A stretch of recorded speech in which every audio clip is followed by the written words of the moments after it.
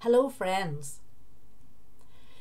Some people will know that I sometimes use puppets as a tool to open a conversation, often about a controversial issue or as part of a campaign for international trade justice or community relations in the area of identity and belonging.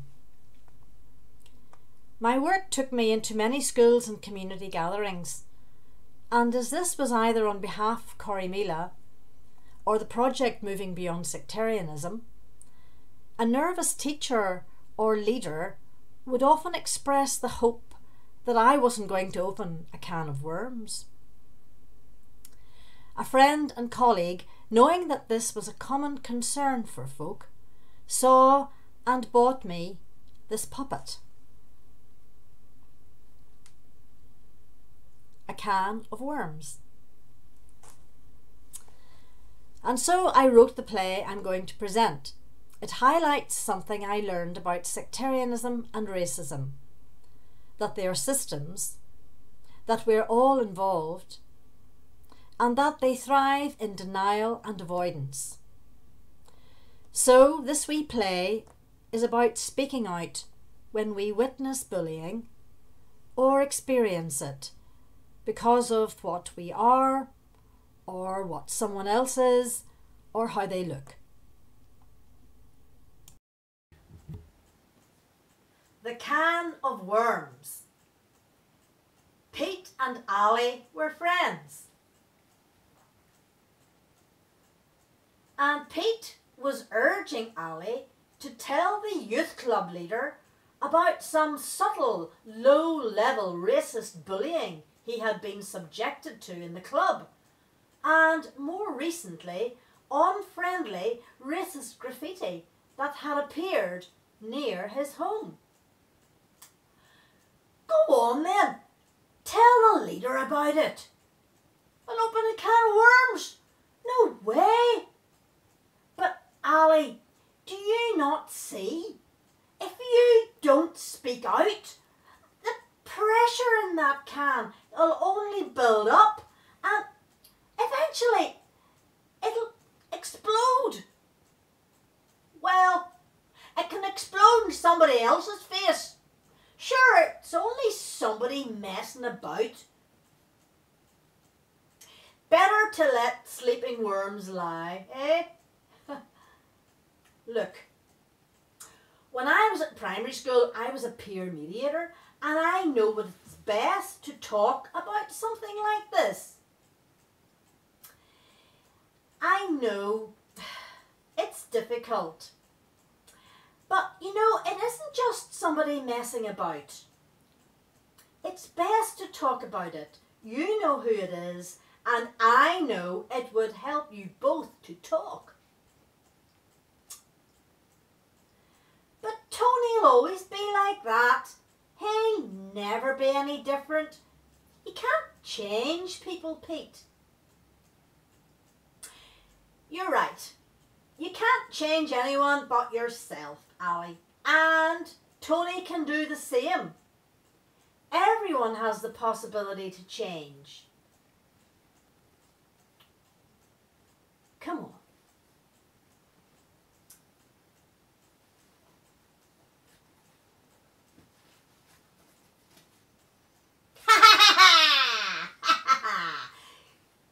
Good for you, Ali. Don't open the can. You still don't get it, do you? Opening the can is the last thing we worms want. We can do all the damage we want as long as people like you keep the lid on it. Don't rock the boat. Pretend to yourself we'll go away. That it's nothing to do with you. Nothing personal. Avoid the hassle. Feel the fear. I love it. Oh, Ray, you're not at it again, are you? I have to say, I'm not as sure as I used to be. People are learning more about us and catching on to the way we operate. Take that pig, for instance. he knows he can be himself and still be with people who are different without worrying that he's going to be tarnished or have his ideas and the things he values changed without his hearsay. We're losing it. Excuse me, I couldn't help overhearing you, Ace. I happen to think that us worms are still doing a good job. Look at all the people being put out of their homes and sent away. Aren't we still doing a great job? No, I agree with Ray. As long as there are people like Ali out there afraid to open the can find out what we're really up to, and others like Tony afraid to challenge his expression of his own identity, if he even knows what it is, in case he doesn't like what he sees or loses a point, we're laughing. And, and uh, what you're saying then, sis, is that we have nothing to worry about. Uh, that, that people will never be free of us, afraid to open the can. It's just that there are things like Black Lives Matter and friendship clubs, good relations policies uh, that just might create a, a bit more confidence. I think we'll be fine. Denial and avoidance are flourishing. Sure, most people in Northern Ireland think that racist is what other people are. They don't look at themselves. They're so busy rivaling and scapegoating one another on either side of the sectarian divide here that they can't see how well they're playing the race game.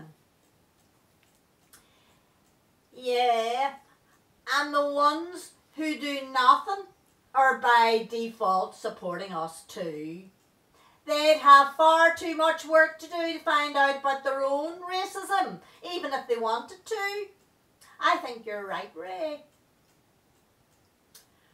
Whatever you say, say nothing, is still alive and well. Look at Ali. As long as racism is kept well out of the conversations here, we're safe in our wee can. And is, is that Ali now? And yes, Tony's coming, and the rest of the club as well, and the leader. Oh, and they they have a contract agreement and all. I think our wee can is about to be opened.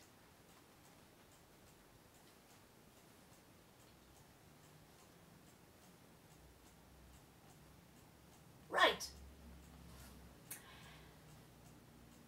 This can is not mine.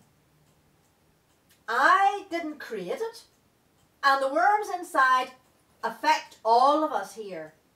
The only way to deal with them is to open up and learn more about them. Let me introduce you to Ray, Ace, Sis, M, Racism. They're only wee worms, but they thrive in secrecy and opening up helps us to own them instead of them owning us.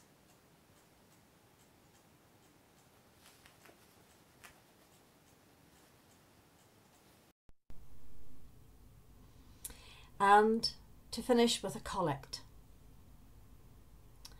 All embracing God, who stood up for the children, the women, the stranger, the dispossessed, the marginalised, and the condemned sinner.